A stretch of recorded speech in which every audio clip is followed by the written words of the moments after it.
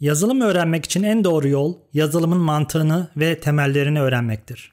Çünkü bütün yazılım dilleri aynı mantık üzere kurulmuştur. İşte bu yüzden bu yazılım öğrenme serisinde sizlere yazılımın sıfırdan yani bilgisayarın hafızasından ve işlemcisinden başlayıp yazdığınız koda kadar olan serüvenini ve hiçbir programlama diline bağlı kalmadan programlamanın temelinde nelerin olduğunu açıklayacağım. Bu videoları izledikten sonra aldığınız bilgi ile istediğiniz her programlama dilini kolayca öğrenebileceğinizden eminim. Hadi başlayalım. Okuma ve yazmayı ilk öğrenen biri harfler ve sayıları tanıyıp bunları kullanarak zamanla birçok şeyi yazabilir hale geliyor. Gündelik hayatta her şeyi kullandığı bu dil ile yazıyor ve konuşuyor. Bu dil ile birçok karmaşık kavramları ifade edebiliyor.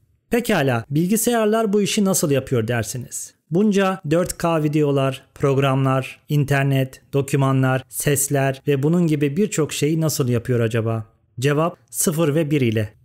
Bilgisayarların ana hafızası sadece kapalı yani sıfır ve açık yani bir durumu olan milyarlarca transistörler tarafından oluşur.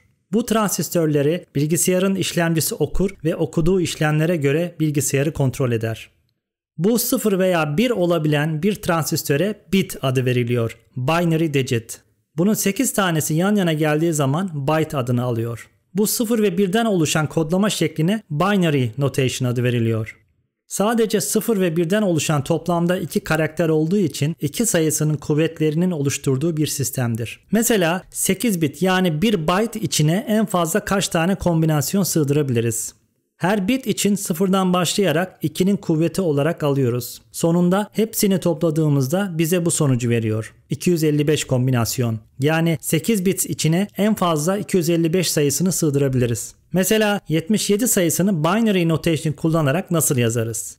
Bunu da ekranda gördüğünüz gibi 0 1 0 0 0 1 1 0 olarak yazabiliriz. Sayıları yazmanın bir yolunu bulduk. Pekala harfleri nasıl yazacağız? Mesela 0 ve 1'leri kullanarak A harfini nasıl kodlayabiliriz? Eminim her şirket ve kuruluştan farklı bir kodlama önerisi çıkar. İşte bunun içinde harfleri, sayıları ve çok kullanılan karakterleri içine alan bir standart ortaya çıktı. Bu da ASCII. ASCII 8 bitlik hafızayı kullanarak 255 karakteri tanımlayabiliyordu. Bu sayede birçok bilgisayar ve işletim sistemi bu kodlama şeklini kullanarak çalışmaya başladı. Ama bir süre sonra 255 karakterden daha fazlasına ihtiyaç olduğu gerçeği ortaya çıktı. Her dilin kendine ait alfabesi vardı. Türkçe, İngilizce, Japonca, Rusça gibi. İşte tüm bu sorunları çözmek için Unicode standardı ortaya çıktı. Unicode 16 bitlik bir alanı kullanarak milyonun üzerinde karakterleri tanımlamaya olanak sağladı. Günümüzde en çok kullanılan UTF-8, UTF-16 ve UTF-32 formatları Unicode tarafından tanımlanmış formatlardır. Şimdi bu demek oluyor ki tüm kodlar, videolar, resimler, sesler, programlar hep bu şekilde yani 0 ve 1 olarak saklanmaktadır. Pekala nasıl oluyor da bu 0 ve 1'lerle saklanan şeyler bilgisayarda çalışır hale geliyor ve ekranımızda resim, video veya program olarak karşımıza çıkıyor? İşte burada karşımıza CPU çıkıyor. Central Processing Unit yani işlemci. CPU'nun görevi verilen talimatları yerine getirmek. Bu talimatlar örnek vermek gerekirse hafızadan bir bilgi okumak, hafızaya bir bilgi yazmak, aritmetik işlemler yapmak veya logical işlemler yapmak gibi birkaçını sayabiliriz. İşlemcinin yerine getirmesi gereken talimatlar machine code formatındadır. Yani 0 ve 1'ler. Bu makine dili her CPU'da farklılık gösterebilir.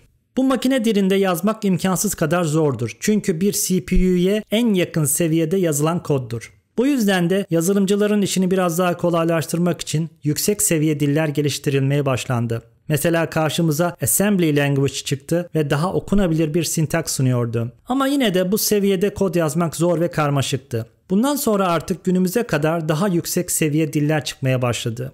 Bunların içinde önemli gördüklerimi ve çıktığı yılları görüyorsunuz. Bu diller ile beraber birçok yazılım paradigmaları ve çalışma yöntemleri de ortaya çıktı. Bu paradigmalardan birkaç örnek vereceğim birazdan. Pekala, bu modern dillerde yazılan bu kodlar nasıl oluyor da bilgisayarımızda çalışıyor?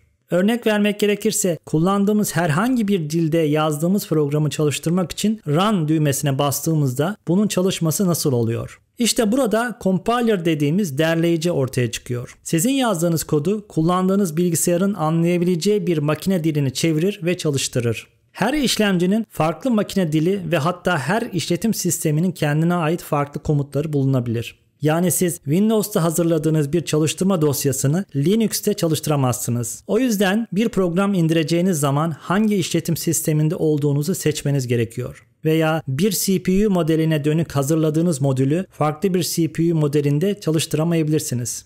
İşte bu farklı sistemler arasındaki uyumsuzluğa çözüm olarak Java dili compiler ile makine arasına oturacak sanal makine teknolojisini çıkardı. Bu sayede compiler yazılan kodu Java sanal makinesinin anlayabileceği bir format haline derliyor. Böylelikle Java kurulmuş her işletim sisteminde aynı şekilde çalıştırıyor. Yani bir kere yaz ve her yerde çalıştır prensibini ortaya koyuyor. Yazılımın nasıl çalıştığına dair konuları işlediğimize göre şimdi yazılım kavramını anlatmaya başlayalım.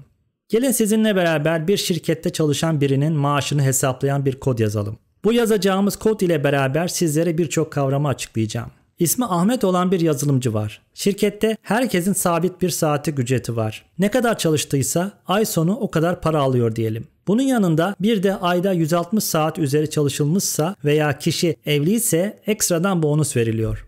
Maaş hesaplama formülü ise şöyle. Saatlik ücret çarpı toplam çalıştığı saat çarpı olası ekstra mesai bonusu çarpı olası evlilik bonusu.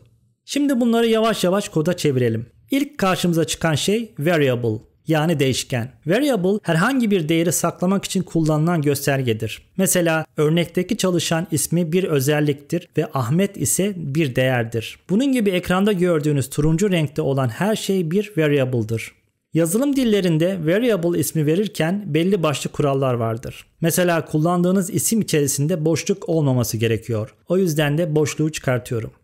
Gördüğünüz gibi isimler artık pek okunmaz hale geldiler. Daha okunabilir bir hale getirmek için sektörde en çok kullanılan 3 isimlendirme yöntemini anlatacağım. Bunlar Camel Case, Pascal Case, Snake Case. Camel Case ilk harf küçük harf olarak yazılır ve sonra gelen tüm mantıksal kelimeler büyük harf ile başlayarak devam edilir. Örnek olarak bu yöntemi Java dili kullanır. Pascal Case Camel case'in aynısıdır fakat ilk harf her zaman büyük yazılır. Örnek olarak bu yöntemi C Sharp kullanır. Snake case ise her mantıksal kelimeyi ayırmak için alt çizgi kullanır ve tüm harfler küçük harf olarak yazılır. Örnek olarak bu yöntemi de Python kullanır. Şimdi buradan camel case yöntemini seçip kodumuzu ona göre değiştiriyorum.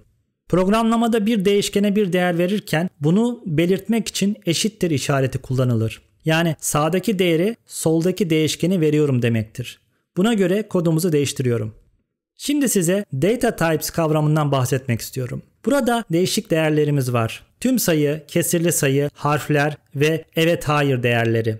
Yazılım dillerinde 4 temel data tipi vardır. Bunlar integer ailesi, float ailesi, string ve boolean'dır. Integer ailesi tam sayılar için kullanılır ve küçüklü büyüklü data tipleri vardır. Mesela byte data tipi hafızada 8 bit kullanır. Bu bitlerden ilki bu değerin eksi mi artı mı olduğunu belirlemek içindir. O yüzden de bize 7 bit kalıyor ve byte data tipini kullandığınız zaman vereceğiniz değer eksi 128'den artı 127 arasında olabilir. Ya da ben long data tipini kullanırsam bu da hafızada 64 bit kullanmaktadır. Bu da çok büyük sayılar demektir. Ekranda gördüğünüz data tipleri integer ailesine ait tipler. Bazen programlama dilleri farklı isimler verebiliyor bunlara. Diğer bir data type ailesi ise kesir sayılar yani float tipleri. Burada karşımıza iki data tipi çıkıyor. Bunlar float ve double. Float 32 bit hafıza kullanmaktadır ve double ise 64 bit. Bir sonraki ise karakterler. Burada karşımıza iki data tipi çıkıyor. Bunlar char ve string. Char sadece bir karakteri ifade eder. Mesela örnekte olduğu gibi Ahmet'in pozisyon kodu sadece bir karakterden oluşuyor. Tek karakteri belirtmek için karakteri tek tırnak karakterinin içine almamız gerekiyor. Bir de string dediğimiz en çok kullanılan data tipi var. Bu da karakterleri belirtmek için kullanılır. Bunun içine herhangi bir karakter koyabilirsiniz. Hafızada char data tipinin listesi olarak saklanır. Örneğimizdeki yazılımcının ismi Ahmet değeri bir string'dir. String olduğunu belirtmek için değeri çift tırnak içine almamız gerekiyor. Python gibi bazı dillerde string için çift tırnağın yanında tek tırnakta kullanabilirsiniz. Son data tipimiz ise boolean yani doğru veya yanlış tanımlaması. Boolean için sadece iki değer vardır. Ya doğrudur ya yanlış. Arası yoktur. Aynı hafızadaki 0 ve 1 gibi. 0 yanlıştır, 1 ise doğrudur. Örneğimizdeki Ahmet evli mi değişkeninin data tipi bu yüzden boolean'dır. Ona göre evetten true'ya değiştirdim. Örnek kodumuzun son hali böyle. Fark ettiyseniz ben değişkenlere hiçbir data tipi vermedim. Yani bunların integer mı yoksa string mi olduğunu belirtmedim. Belirtmem gerekiyor mu? Compiler bunu otomatik olarak tanıyabilir mi? İşte burada karşımıza static typing ve dynamic typing konusu çıkıyor. Static typing siz bir değişkeni kullanmadan önce bizzat hangi data tipi olduğunu belirtmeniz gerekiyor demektir. Dynamic typing ise tam tersi olarak bir değişkenin data tipini belirtmeden kullanabilirsiniz. Kimi yazılım dilleri static typing, kimi de dynamic typing dilleridir. Mesela Java, C, C++ dilleri static typing dilleridir. Python ve JavaScript dilleri ise dynamic typing dilleridir. Dynamic typing dillerinde bir değişkenin hangi data tipine sahip olduğu çalışma zamanında belli olur. Buna karşın static typing kullanıldığında daha compiler aşamasında muhtemel hatalar ortaya çıkabilir. Bunun yanında bir de strong typing ve weak typing kavramları vardır. Bunun anlamı siz bir değişkenin data tipini belirlediğiniz zaman bir daha başka bir data tipi olan değer verebilme özelliğidir. Strong typing olan diller bir değişken kullanıldıktan sonra başka bir data tipi değeri verildiğinde hata verir. Ama weak typing dilleri böyle bir hata vermez. Yani bir değişkenin data tipini istediğiniz kadar değiştirip kullanabilirsiniz. Bu typing konusunda ve hangi dillerin nerelere yakın olduğunu bu tabloda görüyorsunuz. Şimdilik bu kadar. İkinci videoda kodumuzu daha genişletip yazılımın birçok yönlerini açıklamaya devam edeceğiz.